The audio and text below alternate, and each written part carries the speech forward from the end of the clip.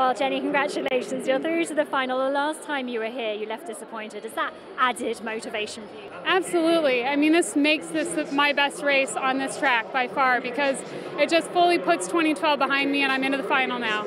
And how important would it be to you to get on that podium here in London where this race is just so significant?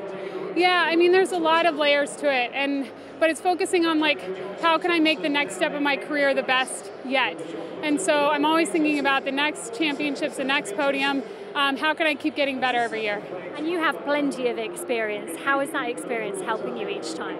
I think that experience helps through the rounds. You know, you don't get overly worked up, but then like tonight, you know, there's times where you're going to have to run really hard and run a really honest race, and I'm ready for both, for a sit and kick and for an honest race. Congratulations. Good luck in the final. Thank you so much.